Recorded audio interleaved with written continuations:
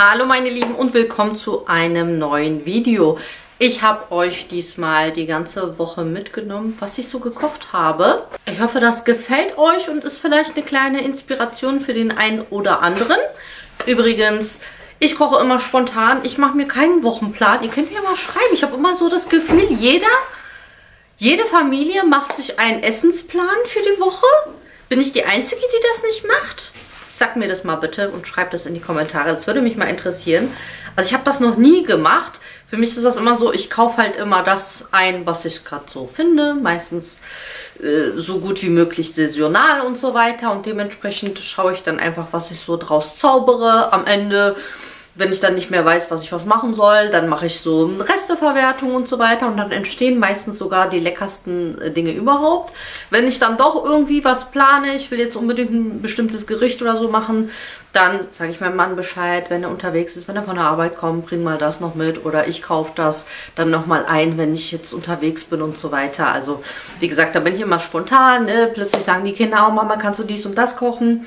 Dann, äh, ja, schaue ich halt immer, habe ich alles da. Wenn nicht, dann besorge ich es. Also wie gesagt, ich bin da halt immer sehr, sehr spontan. Ich habe euch mitgenommen und ich hoffe, das gefällt euch. Wenn ihr das öfters sehen wollt, dann gerne her mit eurem Feedback. Mit einem Daumen nach oben sehe ich natürlich auch, ob diese Videos bei euch ankommen und ihr sie öfters sehen wollt. Und ansonsten, ja, abonniert sehr gerne den Kanal, falls ihr das noch nicht gemacht habt. Und ich wünsche euch viel Spaß bei dem Video. Heute gibt es ein Gemüse-Curry. Das mache ich ganz oft und zwar vor allem mit Süßkartoffeln und Kichererbsen in Kombination finde ich das super lecker. Diesmal mache ich auch noch einen Hokkaido-Kürbis mit rein, dann Zucchini und rote Paprika, ein paar Pilze, das ist alles optional. Äh, und am Ende kommt noch Spinat rein. Das finde ich irgendwie besonders lecker. Das passt sehr, sehr gut. Also wirklich nur zum Schluss, weil das ist Babyblattspinat. Ich brate das Gemüse mit einer roten Currypaste an. Da ist auch schon Knoblauch, Zwiebel, alles mit drin. Das brauchen wir dann eben nicht. Ein bisschen von meiner äh, Gemüsepaste kommt mit rein. Könnt ihr aber auch normal gekörnte Gemüsebrühe oder flüssige nehmen.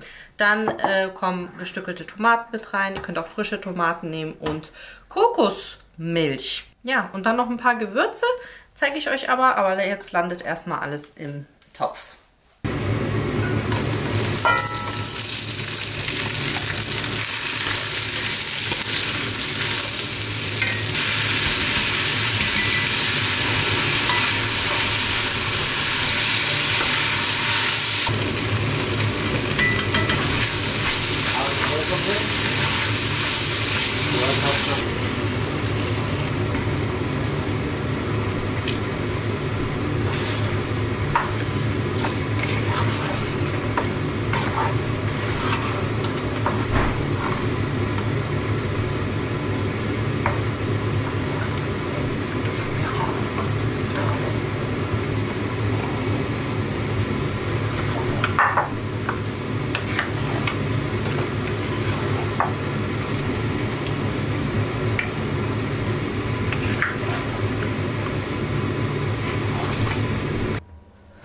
Lassen wir erstmal vor sich hin brutzeln.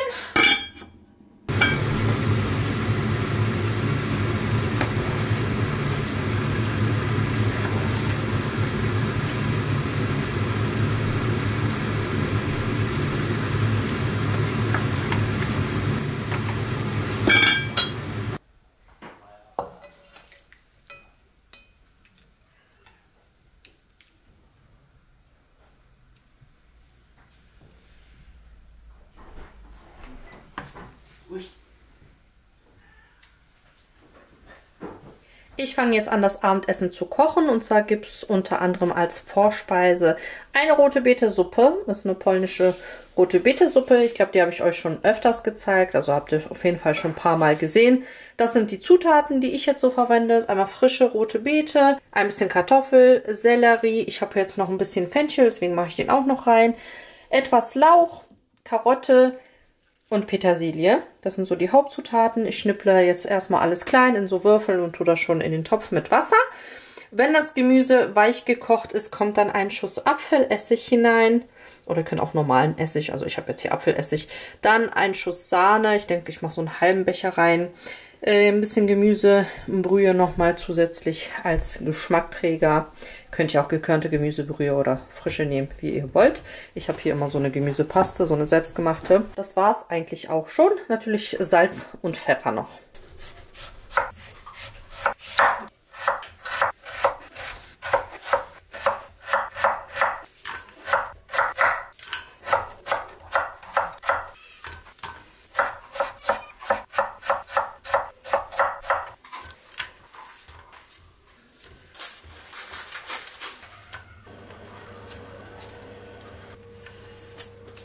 In der Zwischenzeit bereitet Herr Temis hier die türkische Paprika vor. Und zwar ist das, diese Paprika nennt sich Dolma, habt ihr ja vielleicht in meinem Einkauf im türkischen Supermarkt gesehen.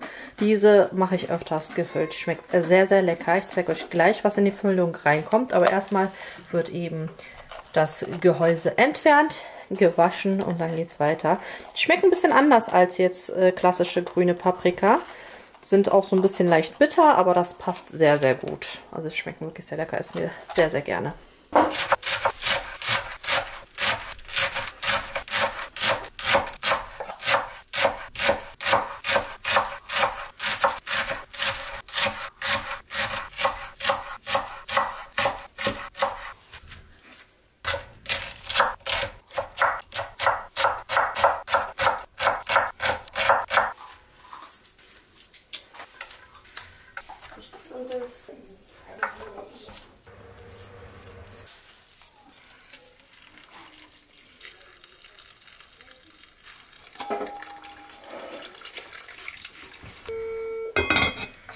Für die Füllung der Paprika habe ich jetzt hier Hackfleisch, das ist jetzt reines Rinderhackfleisch und Reis, das ist jetzt bei mir das Augenmaß, das ist jetzt circa ein halbes Kilo äh, aufgetautes Hackfleisch und das waren jetzt zwei Gläser Reis, den ich gewaschen habe.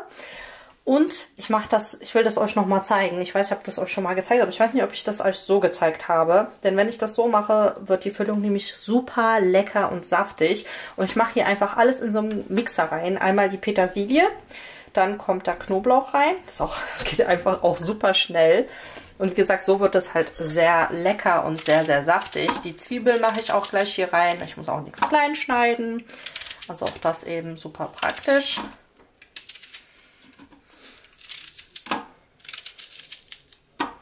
Das kommt rein. Dann gebe ich ein Löffelchen Tomatenmark, beziehungsweise in meinem Fall ist es ja immer Tomaten-Paprikamark. So ein bisschen für die Farbe. Und auch ein Löffel von der Gemüsepaste. Nochmal als Geschmacksträger zusätzlich. Und dann kommt da Tomate mit rein. Tomate macht das Ganze eben dann nochmal schön saftig. Und dann kommen nur noch Gewürze und etwas Olivenöl noch mit rein gebe ich gleich in die Mischung direkt rein. Achso, hier ist noch der Rest vom Reis. Ich habe erstmal nur eine, eine Tasse gemacht, aber ich glaube, das war zu wenig. Deswegen habe ich hier nochmal ein Glas gewaschen.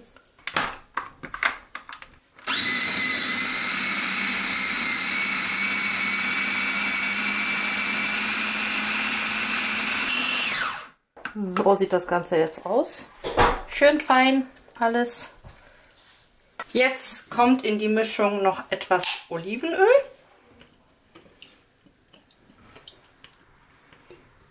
Olivenöl ist immer gut. Dann natürlich Salz haben wir noch keins drin. Uh, ich muss mein Salz auffüllen.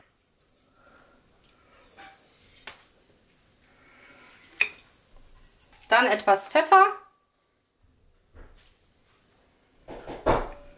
Auch nicht zu wenig. Ein bisschen Schärfe. Ich mache jetzt hier ein bisschen Harissa. Muss ich aufpassen, das ist sehr scharf. Und was ich noch sehr gerne mit reingebe, ist einfach die Gewürzmischung Ras El Hanout. Auch nicht zu wenig. Ich finde, das schmeckt immer alles so lecker, wenn das mit dabei ist. Und jetzt einfach nur noch mit den Händen alles schön zermanschen und verrühren. Könnt das Ganze auch veganisieren, habe ich auch sehr oft gemacht. Statt Hackfleisch einfach Linsen mit dazugeben. Könnt ihr braune Linsen, Beluga-Linsen, also Linsen. Also ich habe es jetzt öfters mit Beluga-Linsen gemacht. Jetzt werden die Paprika gefüllt.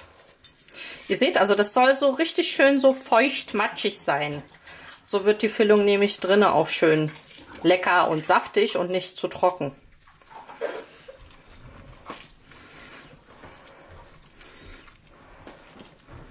Auch nicht zu fest drücken, ne? der Reis quillt ja auf. und dann einfach in den Topf rein. Ich mache die dann gleich mit so einem Stück Tomate zu. Also die Tomate ist dann sozusagen der Deckel. Ihr könntet auch den Deckel von der Paprika wieder nehmen.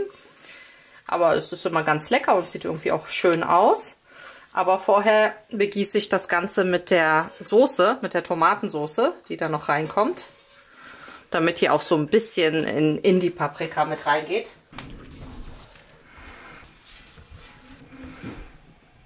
Für die Tomatensoße die jetzt hier drüber kommt, habe ich hier das Tomatenmark bzw. Tomaten-Paprikamark.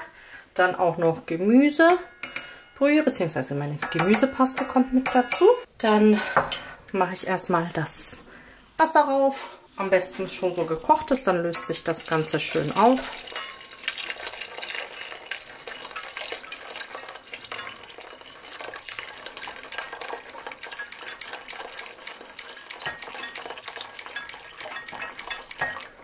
Dann darf natürlich Olivenöl nicht fehlen. Ein bisschen was. Eigentlich fast die gleichen Gewürze. Salz, Pfeffer. Schärfe gebe ich jetzt keine rein, weil mein Tomatenpaprikamark auch scharf ist. Ein bisschen von dem Ras el Hanout auch noch mit rein. Und dann Minze. Finde ich passt hier sehr gut dazu. Deswegen kommt die mit rein. Alles verrühren.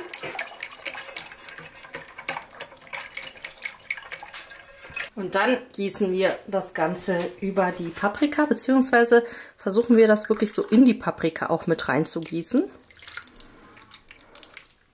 Die müssen auch nicht bedeckt sein, also das dampft dann alles mit Deckel vor sich hin.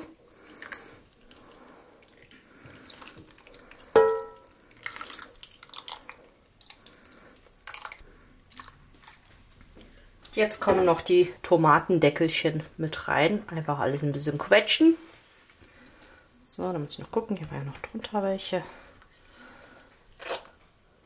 Das war's. Die dürfen auch ruhig so ein bisschen umkippen. Das macht nichts. Hier sind noch drei Stück Tomate. Packe ich einfach mit rein. Jetzt einfach nur noch Deckel rauf und köcheln lassen, bis, ja, bis das alles weich ist. Also 30 Minütchen oder so kann man einfach mal kontrollieren. Und das war's. So, ich bereite auch mein Brot jetzt für den Ofen vor. Für morgen haben wir dann wieder zwei frische Brote. Ich backe gerade aktuell, irgendwie habe ich die ganze Woche lang die zwei gleichen Brote gebacken. Einmal ein Roggenmischbrot und einmal ein Dinkelmischbrot. Das heißt, ja, mit äh, Weizenmehl 550 und dann ein Teil Dinkel Vollkornmehl, das ich selbst gemahlen habe.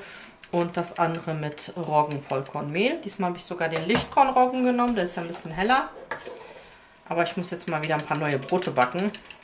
Will jetzt mal dieses Kartoffelbrot auch ausprobieren. Das soll ja auch sehr lecker sein. So, die Körbchen richtig schön bemehlen, auch jetzt mit frisch gemahlenem Roggenmehl. Dann klebt da auch nichts. Und dann lasse ich den erstmal eine Stunde ruhen. Den Teig in den Körbchen. Und dann geht es weiter. Hier haben wir das mit dem Lichtkornroggen. Das ist so ein bisschen feuchter, der Teig. Also gerade wenn man so mit Vollkornmehlen arbeitet, ist es immer nicht ganz so einfach. Deswegen kann ich euch das Rezept, was ich euch eigentlich schon ganz oft gezeigt habe mit dem Vollkorndinkel, habe ich schon in mehreren Videos euch gezeigt. Es ist so super einfach, so wenn man wirklich so einsteigen will mit Brot, ist das das ideale Brot, finde ich. Man hat ein bisschen Vollkorn mit drin, einen schönen bekömmlichen Teig durch die 24 Stunden Teigruhe. Hier sieht man, ne, das ist ein bisschen klebriger, ein bisschen feuchter. Ich werde gleich den Unterschied sehen. Da ist ein bisschen schwerer damit umzugehen.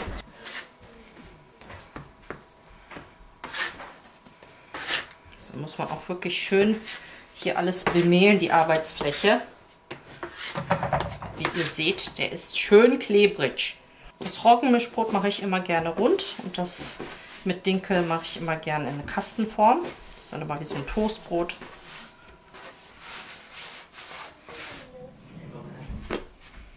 Schön die Ränder bemehlen, dann klebt auch nichts.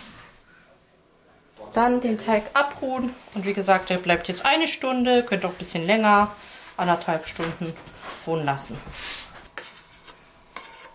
Hier haben wir das mit dem Dinkelvollkorn. Und hier, der Teig ist einfach nicht ganz so klebrig und ist einfacher damit umzugehen, finde ich. Braucht man auch nicht so viel Mehl. Also das ist so, das würde ich jedem raten, dieses Brot zu machen. Als allererstes eignet sich wirklich sehr, sehr gut.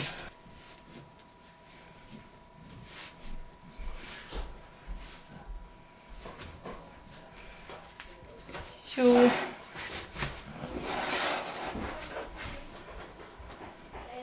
Das war's schon. Den decken wir ab. Und dann heize ich meine Gusseisentöpfe vor und dann kommen sie rein. So, wenn das ganze Gemüse dann weich ist, gebe ich jetzt so zum Schluss die Petersilie mit dazu. So sieht das Ganze aus. Und jetzt könnt ihr gleich gucken, wenn ich den Essig dazu gebe, wie dann nochmal die rote Beete nochmal sozusagen die Farbe lässt. Ja, also so ein Schuss. Schmeckt auch gut, passt auch. Da wird das gleich nochmal intensiver. Sieht man oder auch nicht. Ich glaube, das sieht man. So. Salz hatte ich noch keinen dazu gegeben. Genau, gewürzt habe ich das Ganze noch nicht. Deswegen kommt jetzt auch noch das Salz mit dazu. Ein klein wenig Pfeffer. Und jetzt noch ein bisschen Sahne. So ein halber Becher reicht. Ja, ich finde diese Farbe, ne, das ist so unglaublich. Das ist jetzt so ein richtig schönes Pink. Ich gebe noch ein bisschen mehr Wasser dazu. abschmecken und das war's.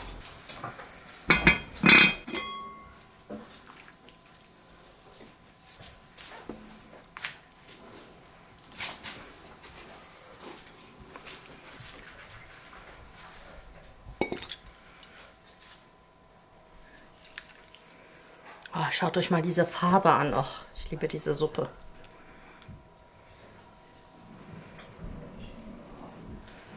Bitte schön.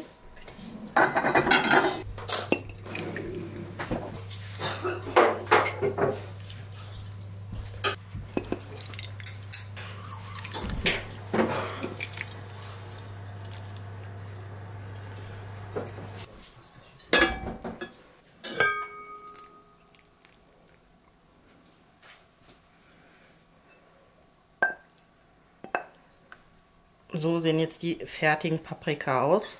Schön auch mit der Soße. Und ein Must-Have dazu ist Joghurt. Ich habe jetzt hier selbstgemachten Joghurt.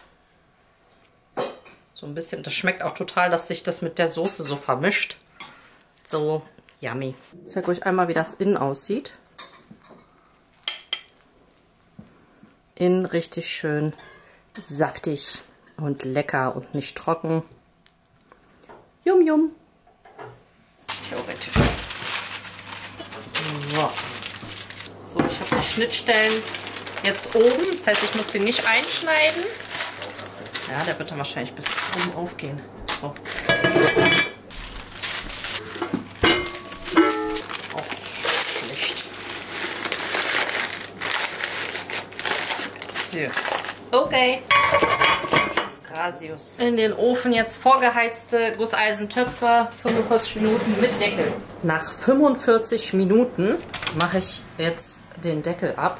Lass das Brot dann noch mal ein bisschen drin. Oh ja, ach geht, hat doch gepasst in den Topf. Ist sogar die Form ein bisschen besser, weil der jetzt ein bisschen höher ist. Jetzt hier noch den Deckel ab. Ja, sieht doch gut aus. Jetzt noch ein bisschen Farbe lasse es noch so 10 Minütchen. Also seht ihr, wie schön das aufreißt von Natur aus, weil ich hatte die eingefaltete Seite eben nach unten. Hier auch. Oh, sehr schön geworden. Super. Also nochmal 10 Minütchen, hast du noch ein bisschen Farbe kriegen und dann kann das Brot raus.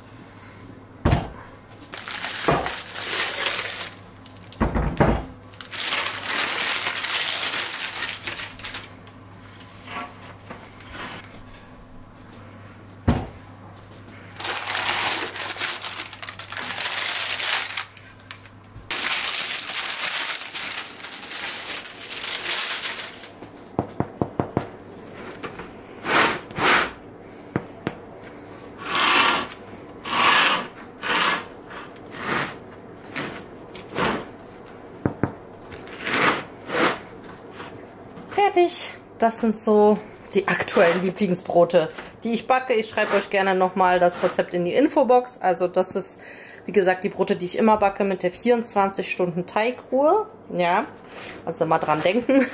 Einen Tag vorher den Teig ansetzen, alle sechs bis acht Stunden einmal den Teig dehnen und falten und dann ja, backen. Und ihr habt tolle Brote. Gesagt, für Anfänger würde ich euch das Dinkelweizen empfehlen, weil wie gesagt, mit dem Teig ist es sehr, sehr einfach umzugehen. Sehr simpel. Das ist dann wieder schon mit Roggen. Der ist ein bisschen heller geworden, weil es der Lichtkornroggen ist. Der ist ein bisschen heller. Die ganze Zeit habe ich aber mit dem normalen Roggen gebacken. Also macht keinen Unterschied. Aber ja, das sind so die zwei leckeren Brote. Und morgen oder übermorgen setze ich mal einen anderen Teig an. Dann mache ich mal wieder so ein Vollkornbrot mit Joghurt und vielleicht mal dieses Kartoffelbrot. Kann ich euch gerne mitnehmen, wenn ihr wollt. Ich fange jetzt an zu kochen und heute gibt es so ein, ja, wieder so ein Gemüseeintopf, würde ich sagen. Ich habe hier nämlich Auberginen, die müssen äh, verbraucht werden. Und ja, ich schaue immer, was ich so alles im Kühlschrank habe. Auch die Champignons hier müssen mal jetzt hier endlich äh, verarbeitet werden. Deswegen so ein, ja, Gemüseeintopf. Ich brate auch ein bisschen Hackfleisch mit dazu an. Und ich schaue mal, wie viel das Ganze wird. Dementsprechend schaue ich, vielleicht gebe ich noch eine Dose Kichererbsen mit rein. Gestückelte Tomaten. Das Ganze wird ja nochmal angebraten mit meinem Tomaten-Paprika-Mark. Ähm, ja, ein Zucchini packe ich mit rein, ein bisschen von der Paprika hier. Kartoffeln noch dazu, also wirklich so ein ja, Gemüseeintopf, was ich eigentlich sehr oft mache. Knoblauch kommt natürlich dazu, meine Gemüsepaste dazu. Und dann, ja, dazu gibt es dann noch Reis. Und ich habe hier auch äh, Muffins gebacken für morgen, für die Brotbox für die Kinder. Das ist jetzt so ein Thermomix-Rezept mit so, also Haferflocken. Also ich habe daraus Hafermehl gemacht. Äh, Bananen sind drin, Walnüsse und Vollkornmehl, also so ein bisschen ja, gesündere Muffins, würde ich sagen. Müsst ihr aber mal später probieren. Ich weiß noch nicht, wie das Rezept ist, habe ich erst einmal gemacht. Aber ja, die sind auch fertig. Dann gibt es heute noch zum Nachtisch Waffeln. Deswegen habe ich hier Waffeleisen schon rausgelegt. Zwei Brote setze ich auch noch heute an. Ja, so sieht's aus. Also erstmal jetzt das ganze Gemüse schnippeln, verarbeiten. Da hole ich mir gleich ein paar helfende Händchen und dann wird alles angebraten. Zwiebeln und die grüne Paprika habe ich jetzt mit angebraten. Champignons. Also ich brate jetzt alles so nach und nach an. Ich glaube, ich habe ein bisschen zu kleinen Topf genommen, aber egal. Heute wird gequetscht. Ich hatte jetzt keine Lust, den größeren Topf zu waschen. Da sind noch die gefüllten Paprika, noch zwei Stück übrig von gestern.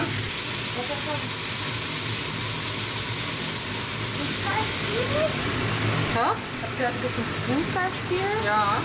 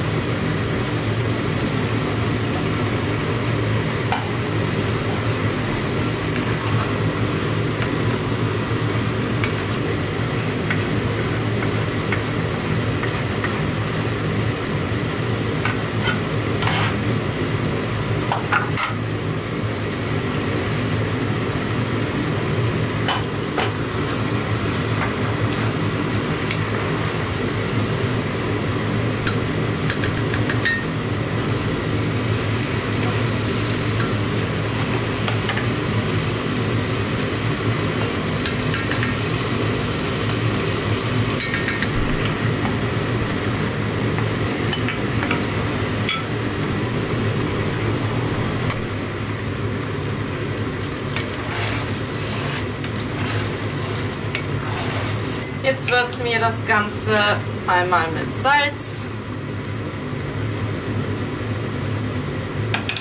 Pfeffer. Schärfe gebe ich jetzt nicht mit dazu, weil diese grünen ähm, Peperonis, die sind scharf. Kreuzkümmel.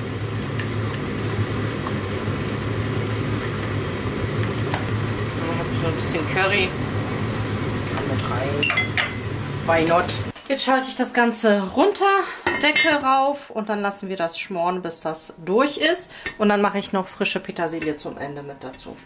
Und ich mache jetzt noch Reis. Zwei Tage. Ich zeige euch jetzt mal, wie ich den türkischen Reis zubereite. Ich habe jetzt Olivenöl und Butter.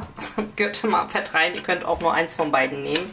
Ich mixe jetzt beides und da kommen jetzt diese Reisnudeln rein. Die sehen aus wie Reis, sind aber Nudeln. Und die werden jetzt goldbraun angebraten. Das ist nicht nur optisch, sondern das macht auch viel aus in dem Reis. Die müssen unbedingt da rein.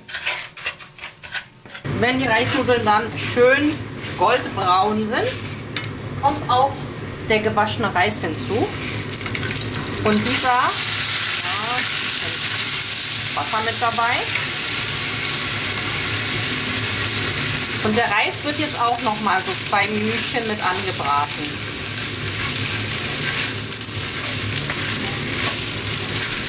Wenn der Reis dann schön angebraten ist, löschen wir das Ganze mit am besten kochendem Wasser direkt auf.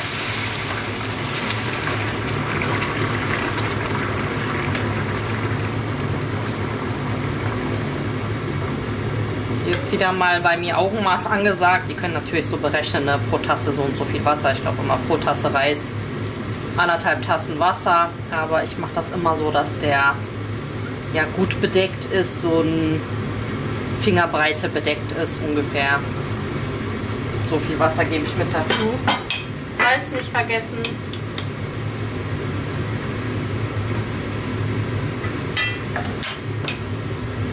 Nochmal umrühren.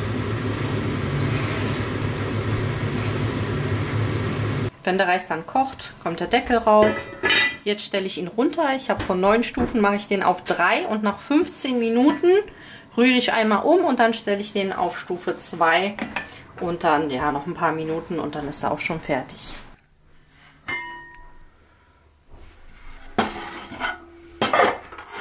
Zum Ende jetzt nur noch die frische Petersilie. Ganz essentiell bei dem Gericht. So, jetzt rühren wir noch mal einmal um. Reis ist auch fertig.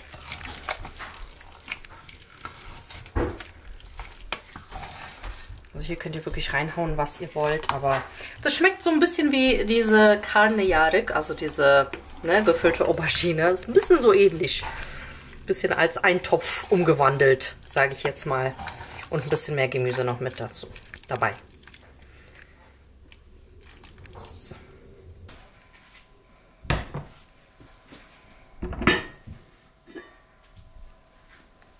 Ich habe noch einen Salat gemacht und zwar aus Karotten, Rettich, rote Zwiebeln, äh, Roma-Salat, ein bisschen Gurke ist drin. Eigentlich Mais passt sehr gut dazu, aber hatte ich keinen mehr da. Frischen Dill, etwas Petersilie, Dressing aus Zitronensaft, Granatapfelsirup, Salz, Pfeffer. Der Reis ist auch super schön flüppig.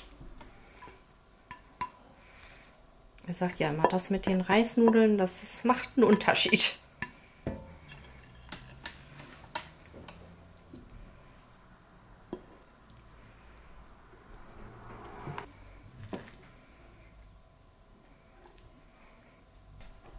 Das lassen wir uns jetzt schmecken. Heute gibt es zum Abendessen als Vorspeise eine sehr leckere Gemüsesuppe. Die wollte ich euch unbedingt zeigen. Die schmeckt so, so lecker. Die ist so cremig. Oh, ich liebe die. Auf jeden Fall packt ihr da einmal Gemüse rein, was ihr mögt. Ich schneide alles in kleine Würfel. Karotten, Lauch, Champignons, ein bisschen Fenchel habe ich da. Muss jetzt nicht alles unbedingt sein. Bisschen Kartoffel, bisschen Sellerie, eine Zucchini. Am Ende kommt frischer Dill mit rein. Das Ganze, wie gesagt, ganz kleine, feine Würfel, wird alles schön angebraten, mit etwas Mehl bestäubt und dann kommt Wasser, Gemüsebrühe dazu, wird schön gekocht, am Ende ein bisschen Sahne, Gewürze, so, so lecker. Das zeige ich euch jetzt. Das ganze Gemüse wird jetzt schön in Olivenöl angebraten, sodass wir so schöne Röstaromen haben. Wenn das Gemüse schon angebraten ist, geben wir jetzt so ein bisschen Mehl dazu. Mit Augenmaß hier. So zwei Esslöffel würde ich sagen. Braten das auch noch mal kurz mit an.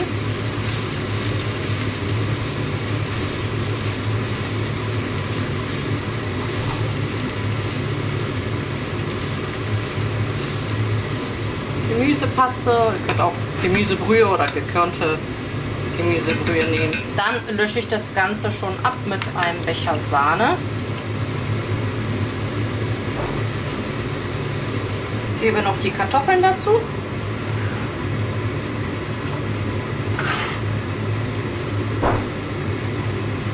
Und gieße das jetzt mit heißem Wasser auf.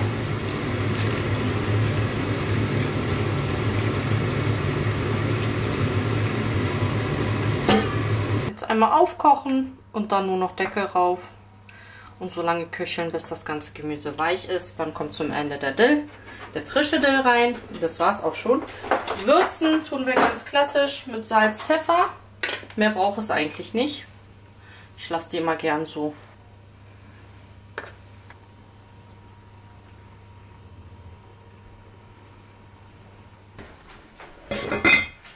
Dann gibt es noch etwas Schnelles aus dem Ofen. Das habe ich euch, glaube ich, auch mal gezeigt. Und zwar sind das diese Gnocchis. Ihr könnt das Ganze aber auch mit Nudeln machen zum Beispiel. Das geht auch. Könnt ihr reinhauen, was ihr wollt. Ich habe jetzt, wie gesagt, hier die Gnocchis. Habe ich unterschiedliches Gemüse, ein bisschen Paprika, Zucchini, rote Zwiebeln, Tomaten. Ihr könnt aber reinhauen, was ihr mögt. Ihr könnt zum Beispiel auch nur Tomaten dazu geben. Jetzt ein bisschen Olivenöl über das Ganze geben. Ich rühre schon mal so ein bisschen durch, damit ich das besser gleich verteilen kann. Und dann könnt ihr zum Beispiel einfach nur passierte Tomaten dazu geben und dann kräftig würzen nochmal mit alles. Oder ihr nehmt so Fertigsoße. Ich habe jetzt hier noch meine eingekochte Soße Arabiata aus den Tomaten aus unserem Garten. Die werde ich jetzt nehmen. Die ist lecker, die ist schon schön gewürzt und scharf.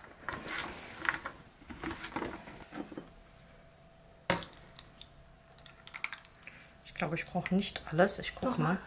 Doch, alles? Dann nicht saftig ist. Aber da kommt ja noch der Frischkäse. Aber der ist ja nicht flüssig.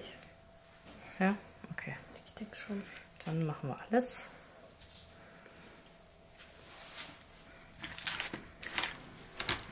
Ja, ich habe hier auch noch Tomaten, die lassen ja auch noch mal ein bisschen Saft raus. Jetzt könnt ihr nämlich entscheiden, ob ihr jetzt noch ein paar Kleckse Frischkäse oben drauf gibt oder Feta-Käse. Und dann geht das Ganze in den Ofen, beziehungsweise ich gebe das erstmal so in den Ofen und dann kommt noch der ganze Käse und dann wird es nochmal überbacken. Aber jetzt tun wir es erstmal ohne, damit auch das ganze Gemüse garen kann.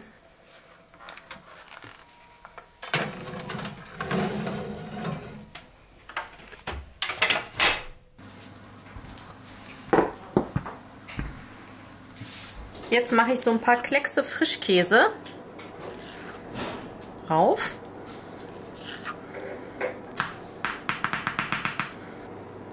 Und etwas Feta-Käse.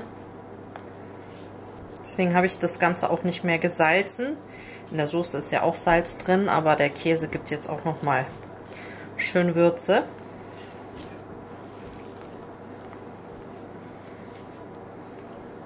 Und jetzt nochmal in den Ofen.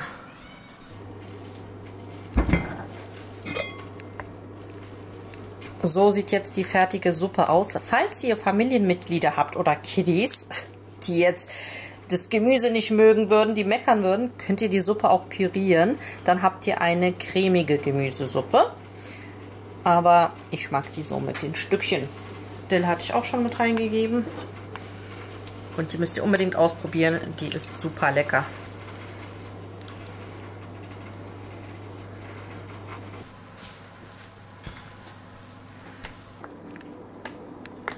So sieht das Ganze jetzt aus. Jetzt wird das einmal schön umgerührt. So wird das jetzt super schön cremig. Ihr könnt da auch nochmal extra Käse nochmal drauf machen.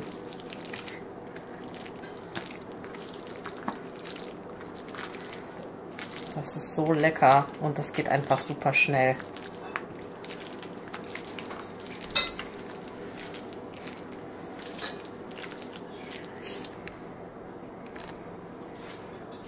Es gibt wieder Abendessen. Und zwar gibt es heute eine Suppe. Ich glaube, ich mache mal eine Linsensuppe. Hatte ich jetzt eine Weile nicht gemacht. Ich gucke mal, ob ich eine gelbe oder eine rote Linsensuppe mache. Weiß ich noch nicht. Und dann gibt es eine Bowl. Oh, ich habe so Appetit schon seit ein paar Tagen darauf. Richtig, richtig Appetit. Äh, die Bowl wird unter anderem aus Quinoa und Naturreis bestehen. Und dann noch äh, Süßkartoffeln, rote Beete und so weiter aus dem Ofen und die Toppings zeige ich euch alles. Ich zeige euch auch gleich, wie ihr am besten Quinoa kocht, weil ich weiß, dass das vielen nicht schmeckt, weil es sehr bitter ist. Da ist es wirklich sehr, sehr wichtig, dass ihr den Quinoa, ich habe jetzt hier übrigens Tricolor Quinoa, also weißer, schwarzer und roter Quinoa gemischt. Ich mag den am liebsten. Den müsst ihr wirklich sehr, sehr gründlich mit lauwarmem Wasser auswaschen. Dann gehen nämlich die Bitterstoffe weg. Dann koche ich den und gebe da auch noch ein bisschen Gemüsebrühe mit zu. Schmeckt nämlich dann nochmal besonders lecker. Den Naturreis werde ich jetzt hier im Reiskocher kochen.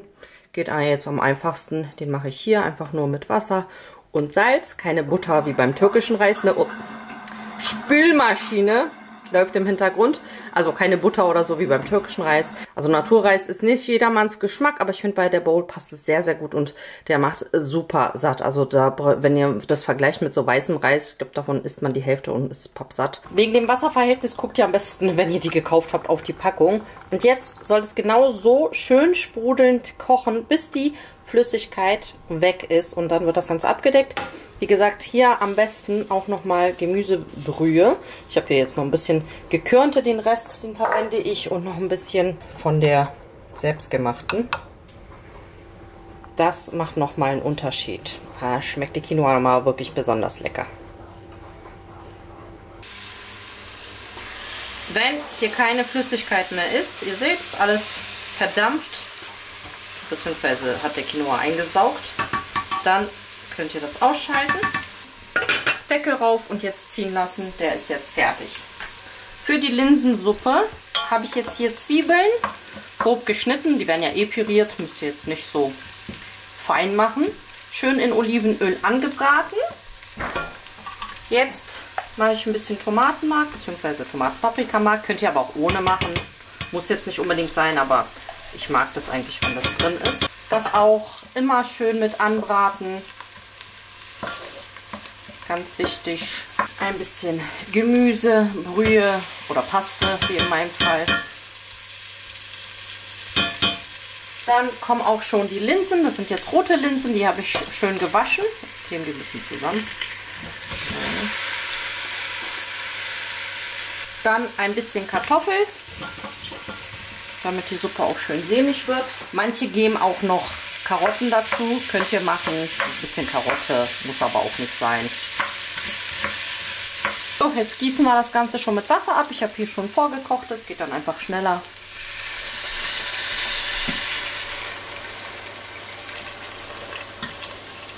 Auch hier ist alles Augenmaß. Ich mache mal ein bisschen weniger Wasser. Die Linsen quellen ja richtig auf.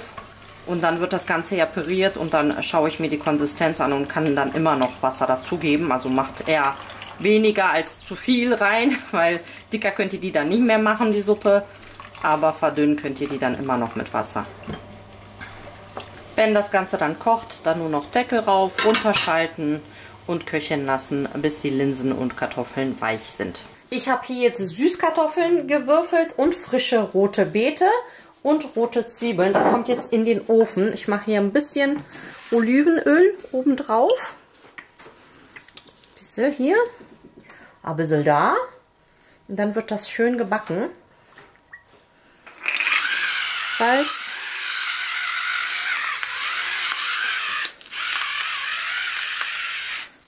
Die Zwiebeln brauchen wir es nicht. Pfeffer.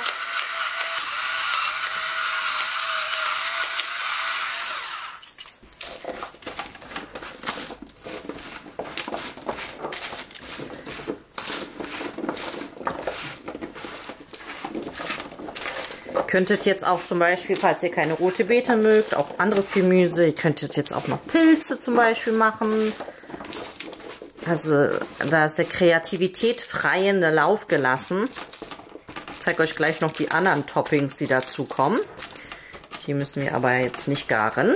Und während das im Ofen ist, mache ich mal das Dressing. Wenn ihr eine kleinere Portion macht, könnt ihr auch den Airfryer benutzen. Ich mache es jetzt auch auf Umluft.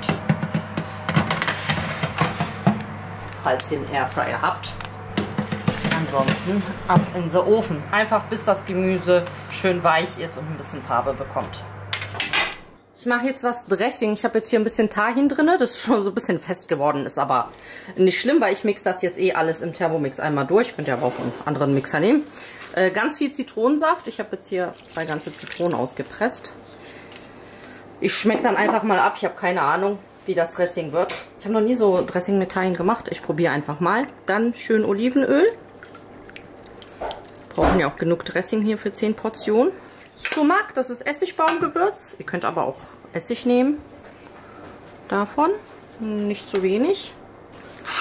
Und dann Salz und Pfeffer. Ich weiß nicht, ob ich auch noch Senf dazu geben soll. Ich schmecke mal gleich ab und dann gucke ich mal. Ein bisschen Knoblauchpulver. Schadet nie. Und noch meinen letzten Rest vom Granatapfelsirup. Jetzt mixe ich das Ganze einmal durch. So, ich habe in das Dressing nochmal Salz, Pfeffer nochmal dazu gegeben. Und Wasser, weil das war viel zu fest. Jetzt habe ich ein bisschen zu viel Wasser, glaube ich, reingemacht. Ah, und ich habe noch ein bisschen Essig noch mit dazu gegeben. Aber ich glaube, es ist besser so, wenn es ein bisschen flüssig ist. Aber vorhin war es ein bisschen cremiger. Naja, egal. Hauptsache es schmeckt. Ich habe es abgeschmeckt. Also der Essig hat auf jeden Fall nochmal gefehlt. Salz und Pfeffer und Wasser. Aber gibt nur so viel Wasser, damit es noch cremig bleibt. Die Suppe ist jetzt auch fertig. So, die Linsen, Kartoffeln, alles ist jetzt schön weich gekocht. Manche mögen das auch, wenn es so stückig bleibt zum Beispiel. Da hätte man die Kartoffeln noch ein bisschen kleiner würfeln können. Oder man könnte jetzt einfach auch einen Stampfer nehmen und einfach nur alles so zerquetschen. Also manche mögen das so. Ich gebe direkt Zitronensaft mit dazu. Ihr könnt aber auch einfach Zitronenspalten zur Suppe reichen. Das gehört dazu, aber ich mache die einfach direkt den Zitronensaft rein. Da muss das jetzt nicht jeder ähm, extra dazu geben. Dann Salz. Wir haben noch nicht gesalzen. Ich mag in der Suppe auch gerne ein bisschen Minze. Kreuzkümmel. Passt sehr gut zur Suppe. Ist auch gut, wenn man Linsengerichte isst. Habe ich mal gehört irgendwo. Und etwas Pfeffer. Und natürlich ein bisschen Schärfe. Ich muss hier aufpassen. Das Pulver ist, glaube ich, sehr scharf. Jetzt pürieren wir das Ganze.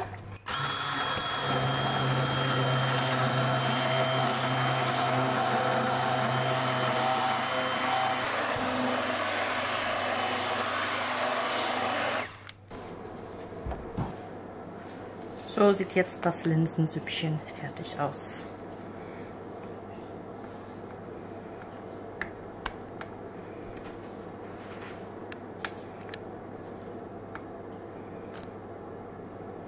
Ich habe hier jetzt alles bereitgelegt, was wir für die Bowl brauchen. So, Dressing fehlt noch. Und zwar mache ich einmal hier den Reis, den mixe ich ein bisschen mit dem Quinoa. Habe das bisschen abgeguckt, falls ihr kennt. Ich weiß nicht, in Berlin gibt es dieses Dean David. Da gibt es die Butter Bowl. Ich habe es ein bisschen da so angehaucht gemacht. Da ist es nämlich auch, da ist der Reis mit dem Quinoa zusammen. So, und das Tolle daran ist an diesen Bowls, das mag ich ja, wenn man dieses warme und kalte mixt. Ne? Also danach alles so zusammenrühren und oh, so lecker. Dann ein bisschen Salat, dass wir ein bisschen was Grünes haben. Dann eben die lecker warmen Süßkartoffeln. Oh, mir läuft das Wasser im Mund zusammen. Falls ihr sowas noch nicht gegessen habt, macht das unbedingt nach. Das ist so yummy. Also ein bisschen Süßkartoffel. Ich richte das für euch jetzt nochmal extra schön an. Rote Beete. Also ich habe sogar ein bisschen mehr Zutaten, als es bei dieser Bowl war, die ich kenne. Dann Kichererbsen. Also wir haben hier auch wirklich schön Proteine. Wir haben in der Linsensuppe, in der Vorspeise schön Proteine. Wir haben hier Proteine, in, obwohl alles vegan heute ist. War jetzt nicht geplant, aber ist halt so. Haben wir in den Kichererbsen Proteine. Wir haben Proteine in Form von Edamame. Die sind auch super proteinreich. Dann die roten Zwiebeln. Die sind so besonders kross geworden. Wie so, fast schon wie so Röstzwiebel. Oh, voll lecker. Davon was. Ein paar Stückchen Walnüsse. Das ist so Yam Yam. Bisschen so ein bisschen klein machen.